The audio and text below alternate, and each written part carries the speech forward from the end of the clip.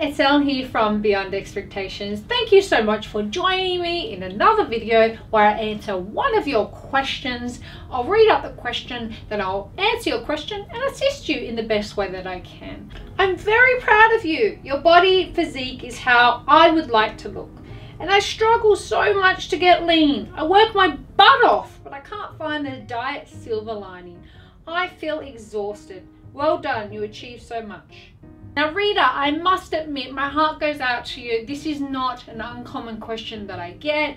You work your butt off, you can't find the diet silver lining and you can't get lean. You find it really hard. The weight loss industry, the diet community, the fitness community would like to lie to you and tell you, look, just buy my Fandangle piece of workout equipment or my app or my fitness thingy and do these exercises and you will get the body of your dreams.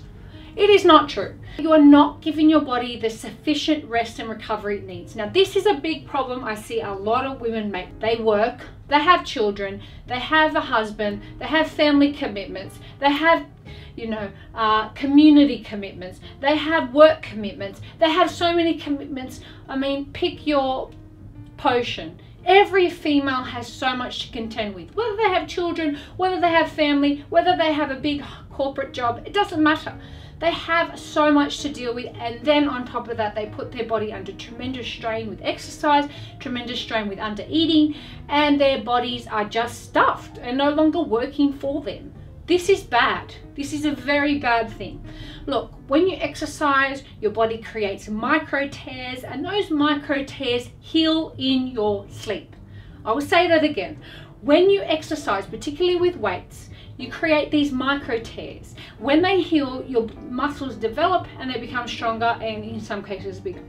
If you are not getting adequate rest, you are not giving your body the chance to heal, recover and repair. So what's going to happen? Well, your body fat will diminish, you'll put on more body fat and ultimately you won't get to where you want to be.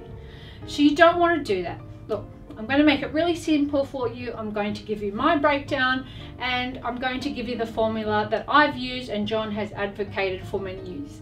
90% has to be your diet. What does that mean?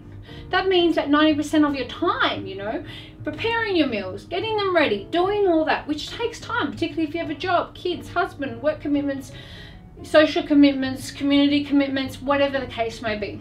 There's that. 7% weights, because ultimately weights is going to help you building muscle and 3% cardio. For me personally, I only did cardio at the start of Beyond Expectations is because that's what the doctor said I could do. I just had a baby, two babies very close together and troubled pregnancies. So I did walking. Walking is great for your health, your cardiovascular health, your mental health, but ultimately if you want to reshape and transform your body, 90% diet, 7% weight and 3% cardio. And that is in terms of your time. If you don't have time to exercise, our suggestion to you would be is focus on your nutrition first. Don't burn yourself out by doing that, you're going to be able to get your body into the state that you want from these principles. I really do hope this helps you. Thank you so much for watching. Thank you for asking me such a fantastic question. Don't lose heart. Keep moving forward. Don't give up. I believe in you. I know you can do it and I thank you for asking this question. Head on over to elleip.com and grab yourself a free copy of 7 Rules from Beyond Expectations if you haven't already read it and I thank you so much for stopping by. Thank you for your thumbs up, comment, support, subscribing and watching and turning on the bell notifications. We appreciate you. Thank you. Goodbye.